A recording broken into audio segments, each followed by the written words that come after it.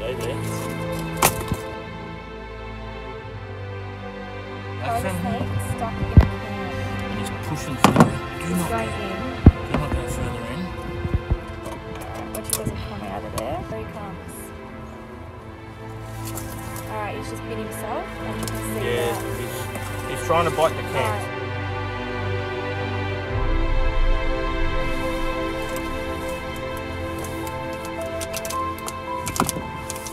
He's biting himself. Sorry, mate. Come here. Hopefully not, mate. All Sorry. right, now. Yeah, Riley, I'm gonna cut. Yes, please. You're not going into the face. I need you to cut. Use the small ones. Use the small ones.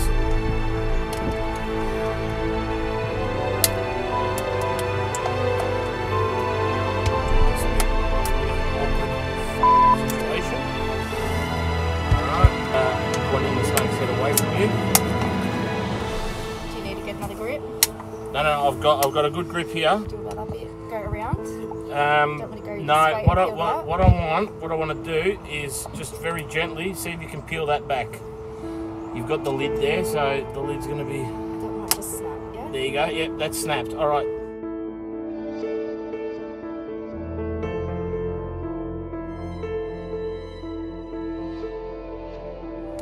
Grab his tail. Hold his tail.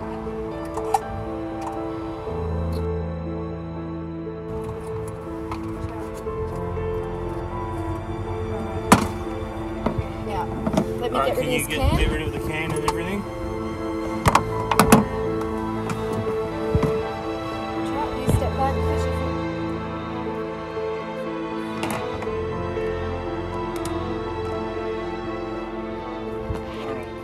He's actually not that damaged, which is good. Few loose scales and misplaced scales, but uh, I'll keep him overnight and make sure he's all good, but he should be okay. So he's flaring up, so that's a good sign that his neck and everything's still good. So we're gonna let this uh, we're gonna let this snake go. We're just gonna give him a quick check over. I've, I've had a look at him and he's all right. Uh, he's good to be released that snake would have definitely died, whether it cut itself, you know, while seeking, trying to get out, or whether it would have cooked itself in the uh, in the sun. So I just want to say thank you again to the uh, to the members of the public that actually uh, located the snake and didn't walk straight past it. Actually called me and asked for advice what to do, and it did potentially save the snake's life.